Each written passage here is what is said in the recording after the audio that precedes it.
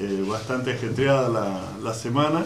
Y gracias a Dios con buenas noticias para la localidad, porque en el día de ayer eh, concurrimos a la firma de un convenio por el tema de la conservación de los bosques nativos eh, con el secretario de Medio Ambiente de Nación.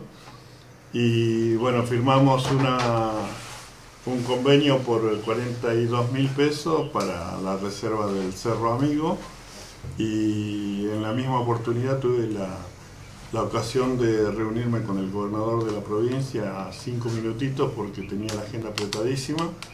Y concretamos eh, cuestiones eh, sumamente interesantes como el tema del servicio eléctrico que ya habíamos hecho la presentación nosotros. Y me dijo que ya estaba confirmado los 7 millones de pesos para el interconectado a través de la línea de 33 que viene por el lado de Chubut, eh, complementaria de la, que, de la que viene para Lago Pueblo, El Hoyo y Esa sería la mitad que pondría la provincia de Río Negro en contraparte con Chubut para hacer la nueva terna desde Coihue. Exactamente. Es un convenio que, que, se firma entre las dos provincias, entre los dos gobernadores, y que ayer el gobernador de la provincia me confirmó que había desechado ha desechado la propuesta del agua escondido y que porque no acordaron en el monto coparticipativo y eh, se aprobó esta, esta propuesta que viene del lado de Chubut y, ya es un hecho y bueno, creo que es la solución que eh, esperábamos todos los bolsoneses porque el déficit en el servicio es eh, sumamente eh, complicado y bueno, una noticia que particularmente a mí me alegró porque estábamos ahí en la disyuntiva a ver con quién acordábamos y se demoraba todo esto. ¿no? Así que ¿Cuándo sería el inicio de obra? El inicio de obra calculo que va a ser ahí por la primavera porque bueno hay que definir algunos, algunas cuestiones, a quién se le otorga la obra y todo este tipo de cosas que están vinculadas con los trámites burocráticos, pero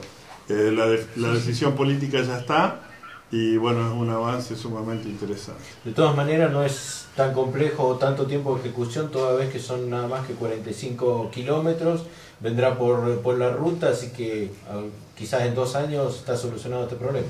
Y eh, a lo que se aspira es eso, que sea lo, lo más pronto posible para terminar con todo este déficit que tiene la, la, comunidad y que día a día se agrava. Ahora, Intendente, ¿cómo aguantamos la coyuntura? ¿Cómo se aguanta el invierno, por ejemplo? ¿Se acuerda había en trámite algún camión, usina que podría venir? ¿Hablaron algo de esto? Eso también está en vías de, de gestión, así que eh, probablemente para, para esta situación venga un camión con un equipo como para solucionar lo, lo coyuntural. Lo consulta con respecto a los cortes permanentes que hay en la zona sur, que tienen, por ejemplo, en estos momentos la localidad del Hoyo no tiene el servicio de luz. Esto tiene que ver con cierta parte con el interconectado también. ¿Esto influiría? Y a mí, eh, la primera novedad de este tendido me, lo comentaron los cinco intendentes de la comarca cuando tuvieron esta primera reunión.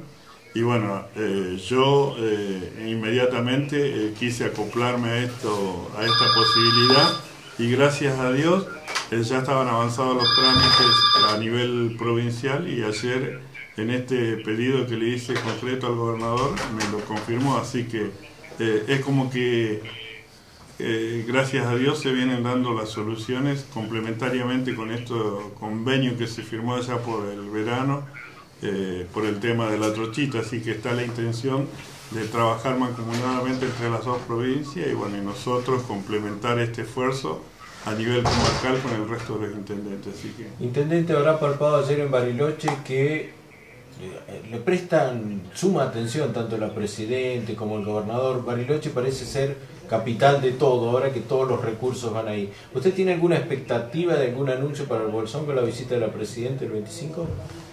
Y mira, eh, la situación de Bariloche, yo me. A mí realmente. Más allá de lo solidario, lógico. Por supuesto.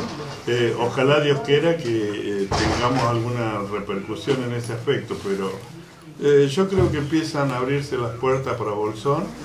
Lo, veo con. Lo avisoro con mucha expectativa. Y, es más, yo había solicitado una audiencia para el gobernador para la semana que viene y acordamos ayer en este encuentro que sea para los primeros días de junio porque eh, tengo que acercarle obras eh, eh, complementarias para el Bolsón para meter dentro del presupuesto que eh, va a ser firmado dentro de unos días. Intendente, con la presidenta se va a poder, se va a poder reunir, está, está complicada la agenda. Mira, es, es dificilísimo acceder a la presidenta por, por, por la agenda de ella, ¿no? Es una, una agenda muy apretada, muy acotada y bueno, a mí me daría satisfacción el hecho de que pueda tener algún mínimo contacto para plantearle algunas cuestiones que están vinculadas con la necesidad de Bolsón. Pero ya con esta ida a Buenos Aires que nosotros tuvimos, iniciamos una serie de trámites que espero que eh, a partir de la temporada que viene se empiecen a realizar, porque todos sabemos que los proyectos llevan su tiempo de maduración. Y bueno, sabe- eh, sabemos también que tanto la comunidad como nosotros estamos ansiosos porque haya alguna obra de consideración, pero tengo la, firme convicción de que en, en algún tiempo perentorio la vamos a anunciar. Intendente, usted viajó ayer a Bariloche y ha sufrido, al igual que todos los conductores, el estado de la Ruta Nacional 40. Tengo entendido extraoficialmente que ya tomó cartas en el asunto.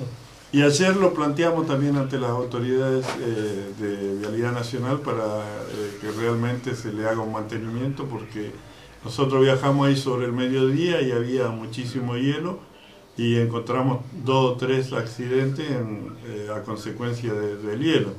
Así que le pedimos al, al responsable de Vialidad Nacional en Bariloche, al ingeniero Lense, eh, que le exija a la empresa que haga el mantenimiento ¿Vio, vio el pozo en el follén? y vimos el Se pozo puede del cortar la ruta en cualquier momento. y sí es una complicación así que nosotros habíamos pedido el mantenimiento ni bien nos hicimos cargo hubo algunas señales porque se, hicieron- se hizo un desmalezamiento desde Bariloche hacia acá y un mantenimiento pero ahora le pedimos que eh, refuercen el, el mantenimiento de la cinta asfáltica y el, y el trazado de la del- de las líneas de marcatoria, que ya me dijeron que eso estaba firmado el convenio y que bueno, falta eh, eh, realizarlo nomás. Ahora, Así ¿qué que- explicación le da el ingeniero Lense cuando eh, nosotros mismos pasamos por Gendarmería Nacional, vimos el libro de queja y el último visado firmado por el propio Lense habla de octubre, perdón, de julio del 2007? Vale decir que de esa fecha a esta parte nunca más miró al menos el libro de quejas. Bueno, eso es una cuestión que le compete a, eh, concretamente a Lenz, yo no puedo hablar por él.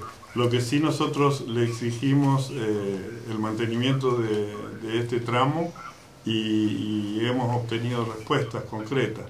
Eh, esto que te decía, que les comentaba hace un momentito, se lo solicitamos tanto la concejal Tejero como el Ejecutivo y inmediatamente hubo una respuesta. Eh, estamos esperando que bueno hagan un, un bacheo en los lugares donde, donde hay presenta deficiencia y hay baches de consideración como en el Follel eh, que comentaba un colega tuyo recién. Intendente, lo cambio de tema, le consulto con respecto a la obra de gas en la zona de Loma del Medio, en la zona de eh, Barrio Usina. Hace un tiempo se reunió con los vecinos y habían arreglado con la empresa, pero la obra no continúa y dicen los vecinos que la empresa no quiere venir a terminar la obra. ¿Sabe algo de esto? Efectivamente es así. Hoy tuve una comunicación eh, en la mañana temprano con el subsecretario de, Infraestructura de la provincia y ellos ya le mandaron una intimación para que retome porque el pago se le hizo efectivo de lo que estaba deudado. Y la empresa tiene una, un- una serie de complicaciones con unos subcontratos que ha hecho con otras empresas que ejecutaron la obra y eso es lo que está, eh, eso es lo que ha traído el- esta situación de no, de no continuidad. Pero ya es una, ya es una responsabilidad de la empresa y bueno, se están haciendo todos los trámites correspondientes para que exigirle que retome. ¿La intimación fija algún plazo? Y no, eso no te lo podría decir porque no me lo comentaron, pero bueno, se están tomando todos los recaudos legales para que la empresa retome Intendente, desde el, desde el Consejo eh, se preguntan algunos concejales eh, qué sucede que desde el Ejecutivo no se envía el proyecto del organigrama municipal. ¿Usted puede dar una explicación a eso? Sí, lo, ahí lo estamos definiendo el organigrama, es, es responsabilidad nuestra, nos hemos demorado, no, nos hacemos cargo, Eh, pero ustedes ven que eh, no nos hemos demorado por una cuestión caprichosa ni nada por el estilo, simplemente porque, bueno, eh, no tenemos el tiempo eh, y, la demanda nos ha superado. Eh, le pedimos las disculpas pertinentes a quien haya que pedírselas, pero el funcionamiento de la municipalidad está en base a lo que nosotros hicimos en su momento como presentación y lo único que nos falta es una cuestión formal que es eh, hacer el dibujito del organigrama. Ajá. Le, hago, le hago otra cambiándolo de tema. Hay un, eh, eh, recién el legislador Torres